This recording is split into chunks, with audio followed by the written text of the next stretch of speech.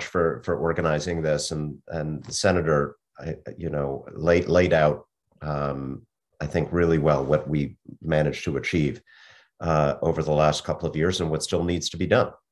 But um, think about where we were around this time two years ago.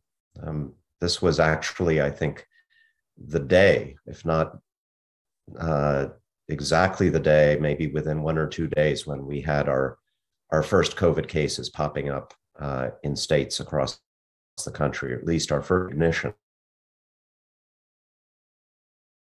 This virus was amongst us, and they're going to have profound effects on, on this country.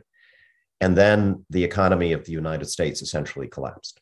We millions of people were sent home from, from work.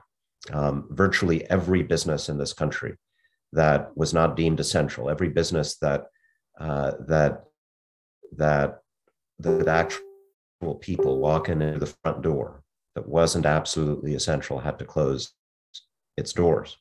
And now look at where we are today.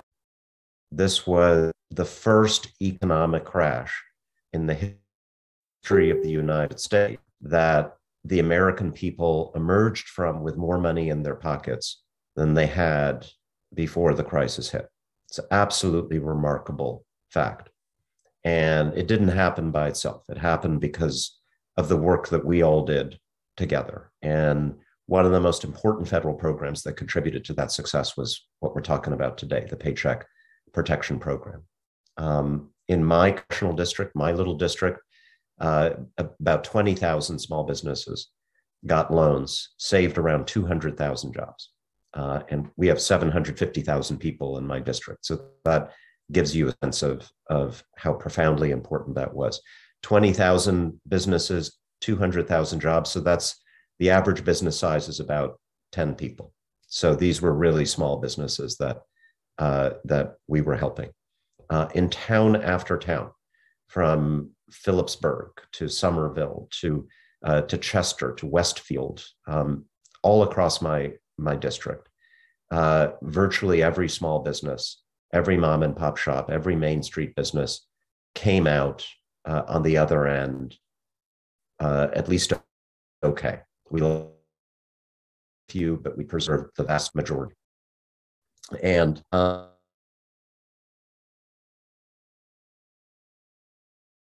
jobs, it's character of community. Senator Booker said that small businesses employ 50% of 100% of the character of our small towns. Um, they're the reason we, we have downtowns that people want to go and shop in. And of course, we all know that there's one type of business in America that was not going to be hurt, and that's businesses like Amazon.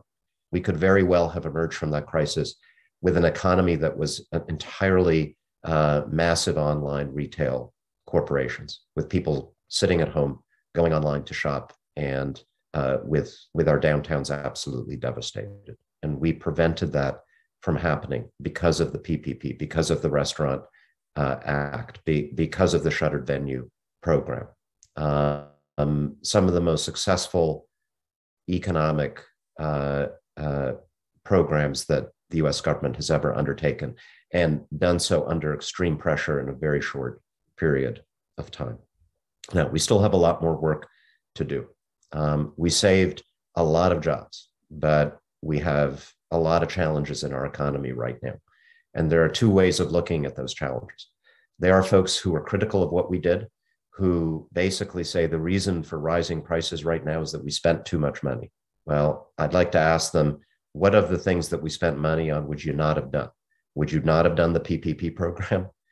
Um, there would have been no inflation. I mean, people would have had no money to spend but that would have been absolutely catastrophic. I'd much rather be in a country where people do have money to spend, and we have the challenge of ensuring that those global supply chains catch up to the extremely high level of demand from consumers and small businesses to be out there in the economy uh, and buying things. And, and that's why House and Senate right now, we are working together uh, on legislation. In the House, it's the America Competes Act.